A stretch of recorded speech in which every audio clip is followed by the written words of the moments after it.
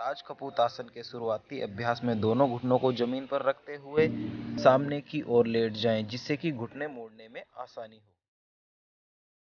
बाएँ पैर को पीछे करें और दाएँ पैर को आगे करें। दाएँ पैर के घुटने को इस प्रकार मोड़ें कि दाई एड़ी बाई जंगा के पास आ जाए। दोनों हाथों को ज़मीन पर रखते हुए पीछे की ओर धकेलें।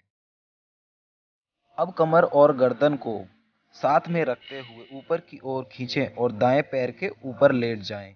यह आसन दाहिनी जांग के लचीलेपन को बढ़ाएगा और बाई जांग के हाइपरनेशन को कम करेगा।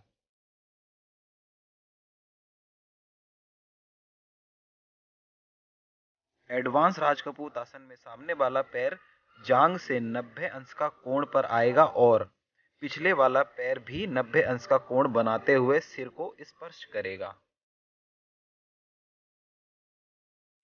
हमारा वीडियो आपको कैसा लगा, कमेंट सेक्शन में ज़रूर बताएँ। अगर चैनल पर नए हैं तो लाइक और सब्सक्राइब ज़रूर करें। तब तक के लिए धन्यवाद।